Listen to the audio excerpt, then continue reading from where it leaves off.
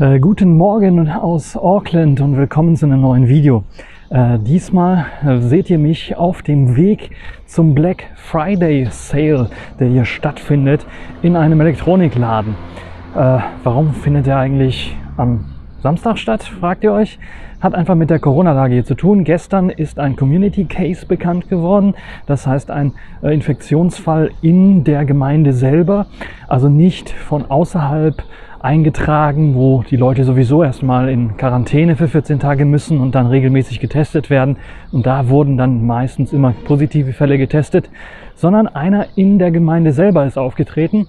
Und das hat dazu geführt, dass äh, man unsicher war, ob nicht eventuell eine neue Warnstufe äh, angehoben wird oder ausgerufen wird, die dazu geführt hätte, dass die Geschäfte schließen müssten. Und das wäre natürlich für den Black Friday Sale etwas schlecht gewesen.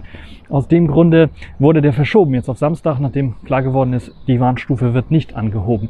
Und ich bin gerade auf dem Weg und da habe ich mir gedacht, nehme ich mal was auf.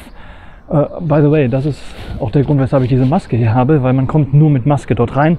Aber es ist gerade sehr früh, weil das Ganze beginnt um 9 Uhr morgens und wir haben einen Samstag. Da könnt ihr euch vorstellen, die meisten Leute sind noch am Schlafen. Nun ja, äh, haben wir gedacht, können wir darüber reden, was es denn hier in Neuseeland in Sachen Black Friday Sale so gibt und warum man da hingehen muss und nicht einfach klicken kann. Nun, es gibt eine kleine Besonderheit. Hier gibt es kein Amazon oder eBay in dem Sinne. Das heißt, nee, es gibt kein Amazon und eBay. Äh, das heißt, es gibt kleine Elektroniklädchen. Äh, der, zu dem ich jetzt auf dem Weg bin, nennt sich PB Tech.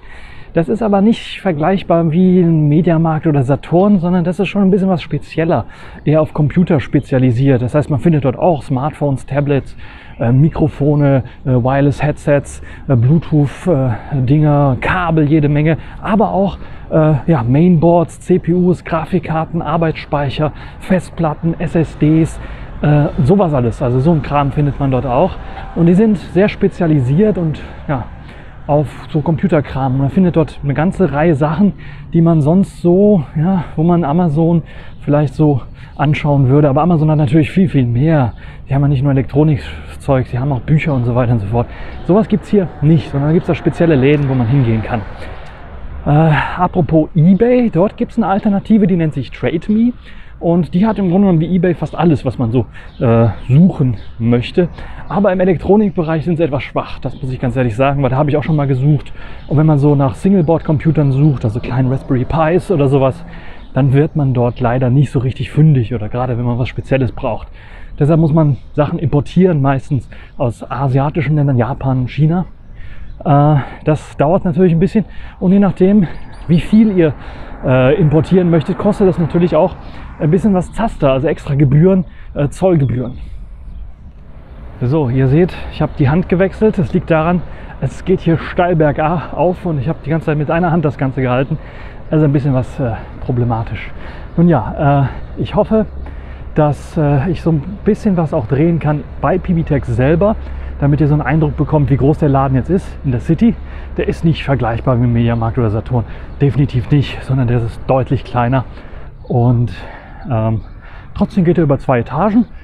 Wahrscheinlich wird nur die erste Etage offen sein. Letztes Jahr war es beim Black Friday Sale so, dass es sehr, sehr voll war, dass es eine sehr, sehr lange Schlange gab.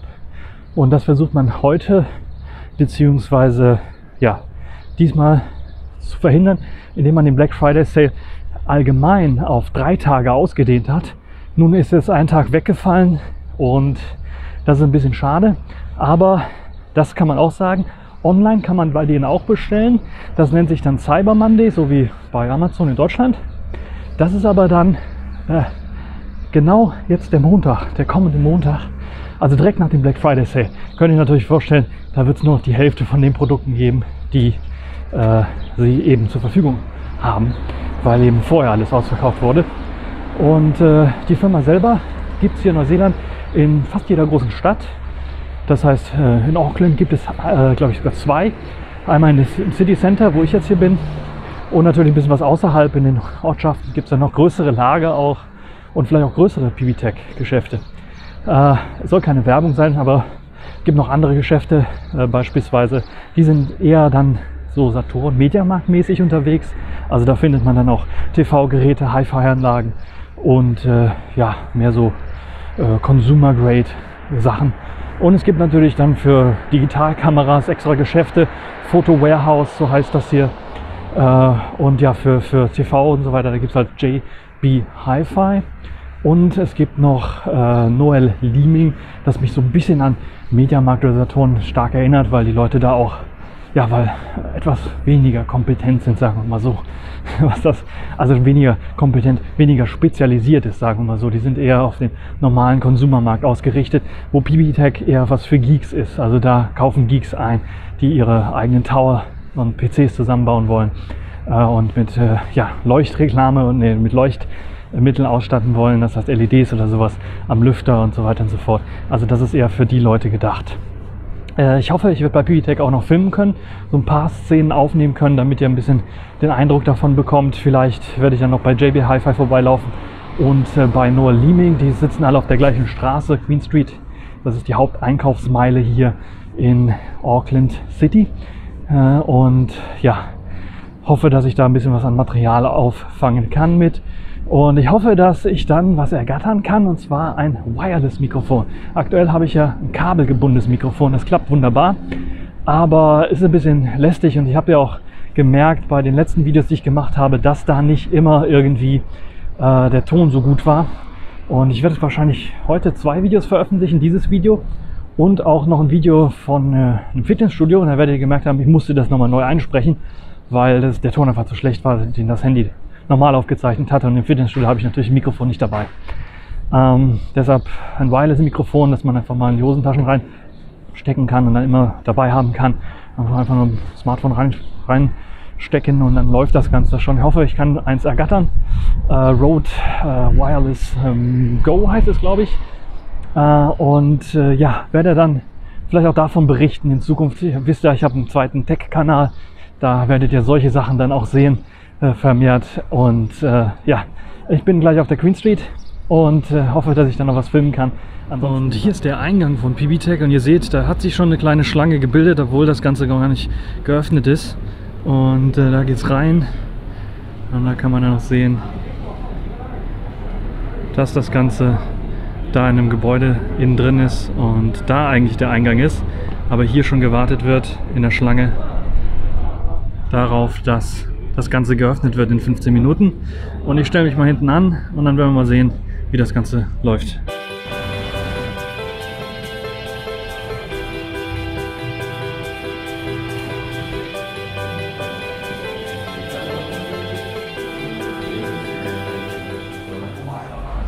So, ich bin jetzt aus dem PB-Tech raus und äh, wie ich schon vermutet habe, es war zu voll und zu hektisch. Es, es ging da so ab wie, also es durften nur eine begrenzte Anzahl von Leuten hinein.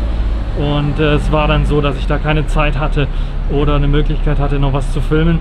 Habe das geholt, was äh, ich nicht holen wollte, beziehungsweise es war natürlich das äh, Mikro Mikrofon äh, nicht mehr auf Lager. Äh, das ist natürlich äh, schade, aber kann man nichts machen. Da hoffe ich mal vielleicht auf den Cyber Monday, dass ich das da dann bekomme. Ansonsten muss diese Combo hier auch reichen. Ihr seht, ich habe jetzt das nicht drin, sondern ich halte das Mikrofon jetzt in der Hand und hoffe, dass man mich trotzdem versteht, trotz dieser Maske auf die ich jetzt glaube ich abnehmen kann. Sind nicht so viele Leute unterwegs hier und dann hört man mich auch besser. Und ich zeige euch noch ein bisschen was von anderen äh, ja, Elektronikläden hier in Neuseeland, wie beispielsweise Noel Leeming, die glaube ich noch nicht offen haben. Aber ja, von außen kann ich ja mal was filmen.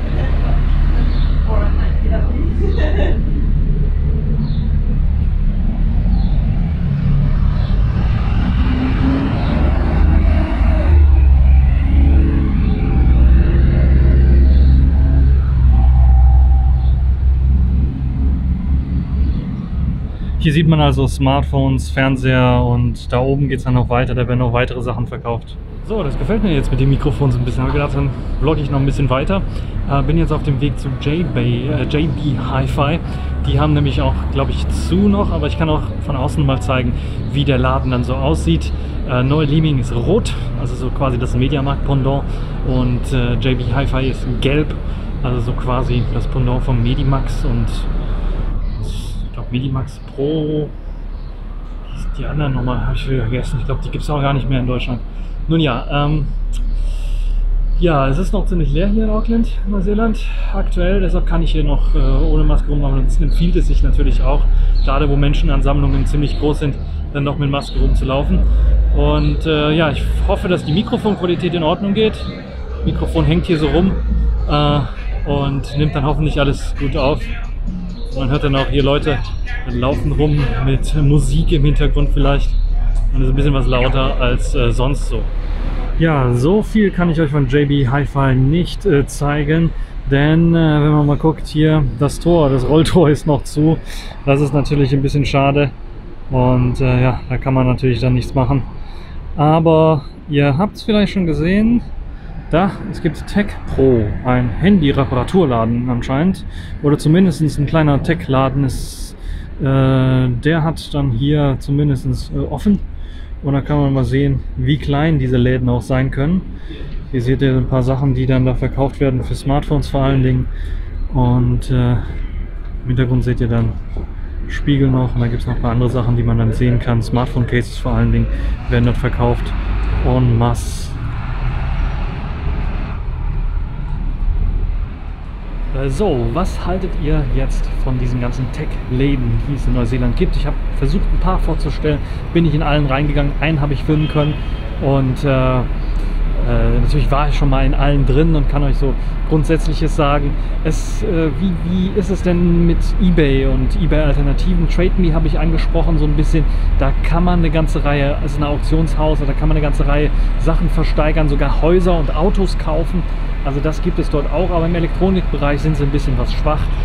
Ähm, ja, was, wie stellt ihr euch das vor? Könntet ihr ohne Amazon und eBay überleben?